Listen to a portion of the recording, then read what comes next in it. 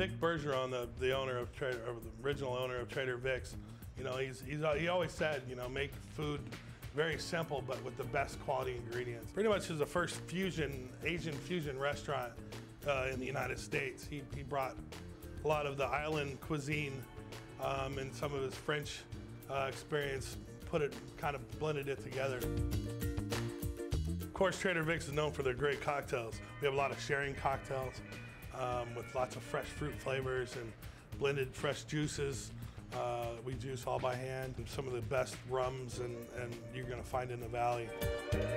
Trader Vic's has, has, we have a really unique flair, this French Polynesian uh, fusion. Our Chinese oven really gives a, a, unique flavor to our food that no other restaurant can offer. Cooks everything from really uh, hot smoke and not direct heat, so it really gives it that nice smoky flavor without giving it too much char. We cook all our fish on, on grates and then we hook all our meats on hooks and we hang right down in the oven.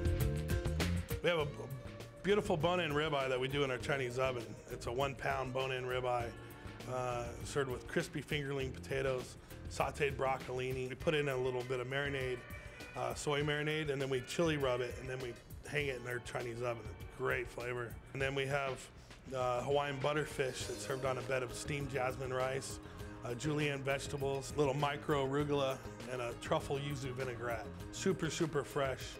Uh, comes directly from Honolulu overnight. And then we have our coconut prawns, and we have some peppers, onions, snap peas, all tossed in a passion fruit chili glaze. Next we have Justin's bread pudding, which that's of course my bread pudding. It's from growing up with my grandmother that made some of the best bread pudding in the world and uh, kind of took that recipe and made a little twist to it.